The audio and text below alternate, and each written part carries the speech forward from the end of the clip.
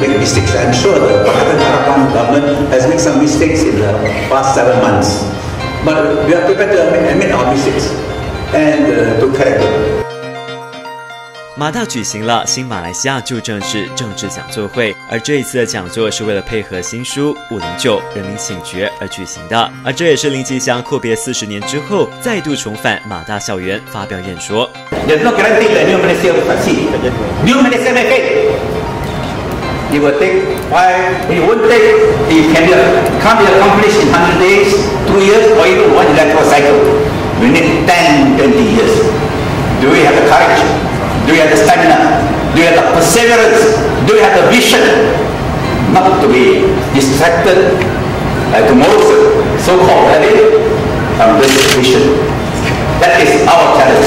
And that, I think, should be the meaning of 509. Thank you very much.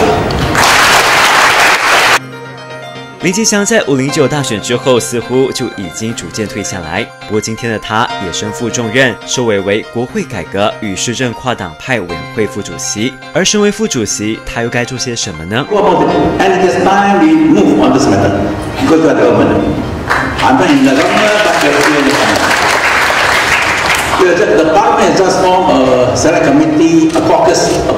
caucus on the, uh, reform and governance. Uh, Anwar is the chairman, I happen to be the deputy chairman.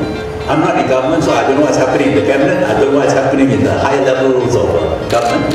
But uh, I think we want a, a, a, a thriving, a robust democracy.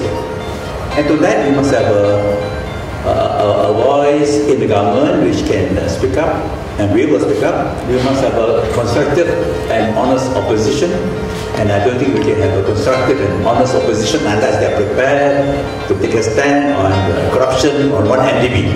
And if they are prepared to do so, then of course they are forced to resort to the toxic politics of uh, hate, of lies, of praise and religion, which is very dangerous uh, for the country.